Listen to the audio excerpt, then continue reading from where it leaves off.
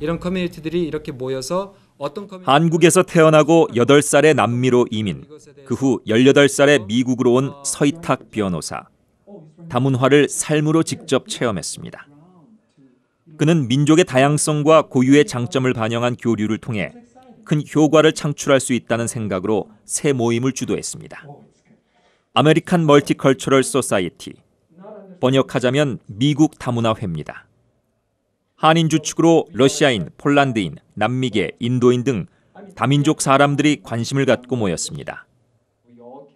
최대 회장을 맡은 서 씨는 우선 친목과 교류에 중점을 두고 시작해 점차 공동의 관심과 이슈를 반영한 단체로 발전시켜 나간다는 계획입니다. 다문화가 살고 있는데 특히 이제 폴란드계라든지 아, 러시아계라든지 아, 한국인, 카우케이션 이런 분들이 많이 살고 계시는데 서로의 이 교류도 많이 없으시고 해서 그 부분에 대해서 저희들이 조금 어, 하, 대한민국 국민들 이 동포들이 중심이 돼서 그분들을 모으고자 그러한 어, 이러한 그 오르가니제이션을 창립하게 됐습니다. 모임은 소수민족만이 아닌 미국인도 포함하고 있습니다.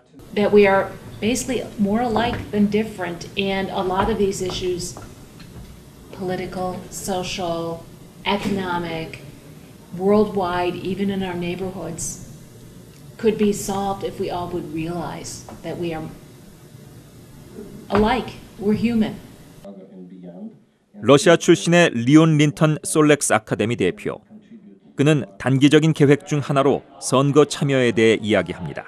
We'd like to have a culture as a common denominator for our organizations to come together. We'd like our members to exercise their rights. Uh, one of the examples would be a right to vote. By doing it, uh, we'd attract their interest uh, to political issues, to cultural issues, to multicultural issues as well. So this way we can uh, overcome some multicultural differences. 이런 친구들은 아메리칸 멀티컬처럴 소사이티는 원래 모임을 통해 각 민족의 음식과 문화를 나누며 교류할 계획이며 올 11월 취임식을 열 전망입니다. 서로의 다름보다는 유사점을 찾아 공동의 뜻을 이루겠다는 모임.